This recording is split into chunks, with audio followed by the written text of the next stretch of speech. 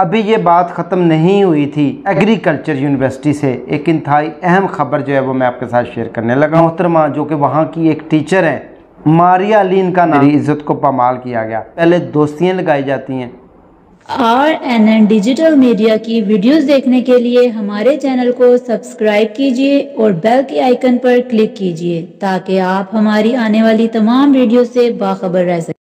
बिसमीम अल्लाम नाजरी मैं राजा नसीर और आप मेरा फेसबुक और यूट्यूब चैनल देख रहे हैं। नाजरीन, उम्मीद है आप खैरियत से होंगे। जहाँ कहीं भी होंगे, अपने अहल खाना समेत खुश भी होंगे और महफूज भी। नाजिन आपको पता है बहावलपुर इस्लामिया यूनिवर्सिटी में जो कुछ हुआ, अब आपने देखा कि हमारी बहनों और बेटियों की इज़्ज़तों को किस तरह पमाल किया गया। किस तरह उन बच्चियों के साथ जो है वो जुल्म और ज़्यादती की गई। किस तरह उन बच्चियों की इज़्ज़तें पमाल हुई? किस तरह उन बच्चियों को इस्तेमाल किया गया? चंद नंबरों की खातर, चंद डिग्रियों की खातर। बच्चियों की इज़्ज़तें किस तरह नलाम की गई, जिनमें बहुत सारे लोग शामिल हैं, जो कि आपने मुख्तलिफ़ चैनल्स के ऊपर सुने।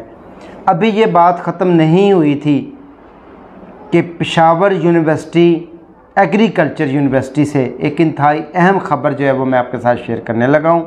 पेशावर एग्रीकल्चर यूनिवर्सिटी से ये जो आप तस्वीर देख रहे हैं, एक मोहतरमा जो कि वहाँ की एक टीचर हैं,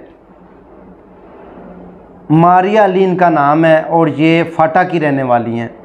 ये कहती हैं कि मैं पिछले दो साल से यहाँ पर टीचिंग करती हूँ और मैं सबको बताना चाहती हूँ, उन्होंने कहा कि मैं कोर कमांडर पेशावर और दीगर मुकाम बाला और दीगर अफसरान बाला से गुजारिश करती हूँ कि खुदारा मेरी बात की तरफ़ तवज्जो दी जाए, इस बात का नोटिस लिया जाए।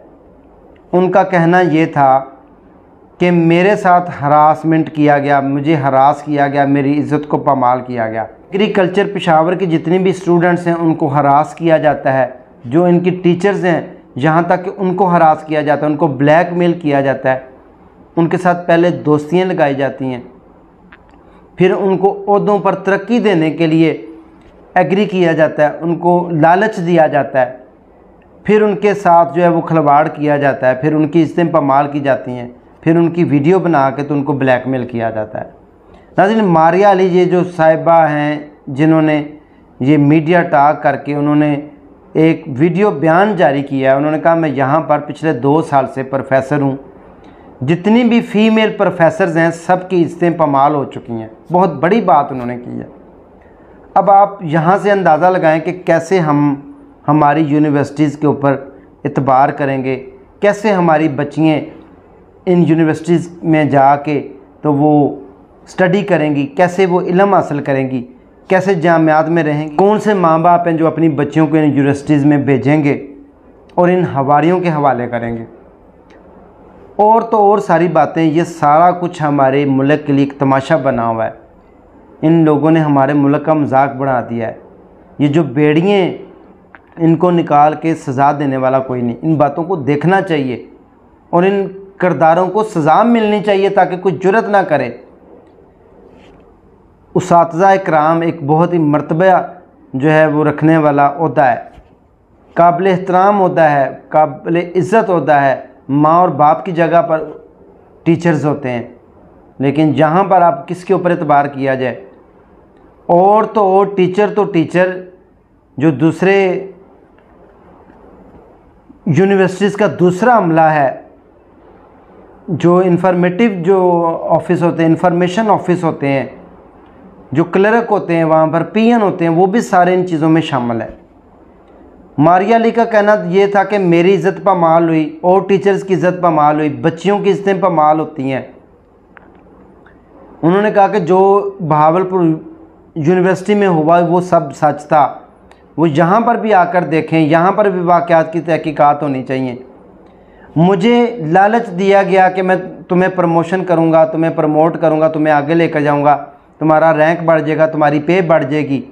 मेरे साथ दोस्ती लगाई गई, दोस्ती लगाने के बाद मेरी इज़्ज़त को पमाल किया गया, मुझे फिर ब्लैक मेलिंग शुरू होगी अब यहाँ तक ब्लैक मेलिंग होती थी कि मुझे कहा जाता था कि तुमने अगर ज़ुबान खोली तो तुम्हें जो है हम सोशल मीडिया के ऊपर वायरल कर देंगे।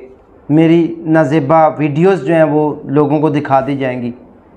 तो मैं चाहती हूँ कि मेरी तो ज़िंदगी तबाह हुई हुई है, लेकिन किसी और बेटी की, बहन की, यहाँ पर काम करने वाली टीचर्स की ज़िंदगी तबाह ना हो।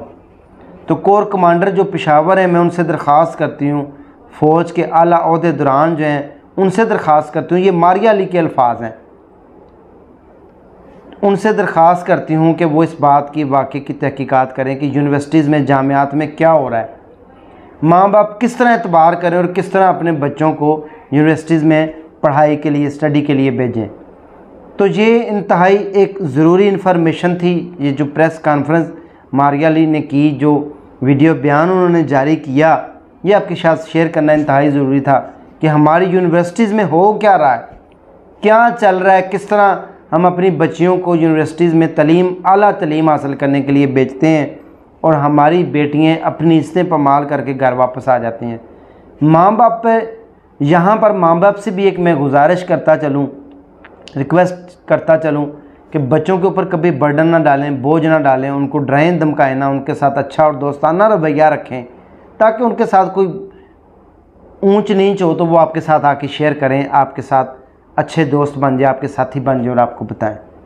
ये इंतहाई इन्फॉर्मेशन पहुँचानी आपके साथ ज़रूरी थी, ताकि आप और हम सब की इज्जतें और बेटियाँ महफूज रहें और अल्लाह ताला हमारे इस मुल्क के पाकिस्तान को भी महफूज रखे और इन बेड़ियों को बेनकाब करके सज़ा दी जाए, ताकि दोबारा कोई ज़रूरत बहन बेटी की इज़्ज़त पामाल करने की। दीजिए इसी के साथ अपने उसको इजाज़त इन दुआओं में याद रखें। अगले समय दोबारा मिलेंगे। अल्लाह हाफिज़।